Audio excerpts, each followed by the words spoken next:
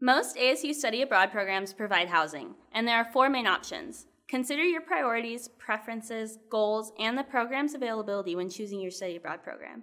Some, like our exchange programs, do not provide housing, and it's important for you to find safe housing. There are apartments, which are grouped housing units just like here in the US. They may be single rooms, or you may have roommates with shared common areas such as kitchens, living rooms, and or bathrooms. Second are residence halls. These are university housing for students studying in the same place your study abroad program takes place. These may be single or shared rooms with community common areas. Exchange and partnership programs may have residence halls as an option. Third are hotels or hostels. These are available to any person, and rooms may be single or grouped, where you could have one or more roommates. These are common housing options for faculty directed and global intensive experience programs.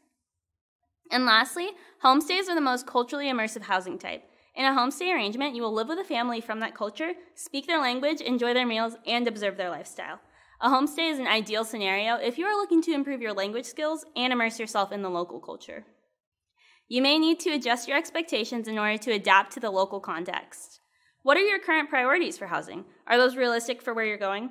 If not, how will you adjust? What preferences are you willing to compromise on?